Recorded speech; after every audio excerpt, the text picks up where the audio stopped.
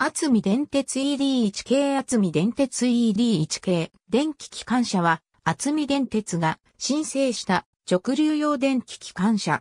幾度かの改版を経て晩年はデキ200型と解消されていた。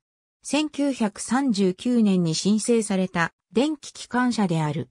河川電圧 600V 専用の車両で、木並車両製造製、凸あざ型で、軸配置は BB、出力は 194kW であった。1940年、厚見電鉄は名古屋鉄道に吸収合併され、名古屋鉄道厚見線となる。合併に際して本形式はデキ150系151に解消される。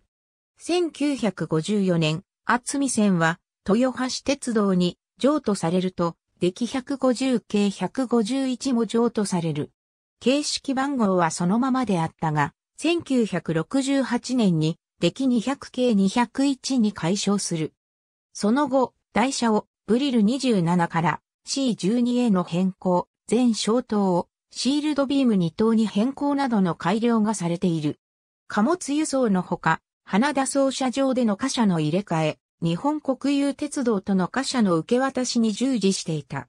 1984年、豊橋鉄道の貨物営業の廃止により、廃車となる。廃車後は、イラゴフラワーセンターで生態保存されていたが、2005年にイラゴフラワーセンターが閉鎖された際に撤去された。ありがとうございます。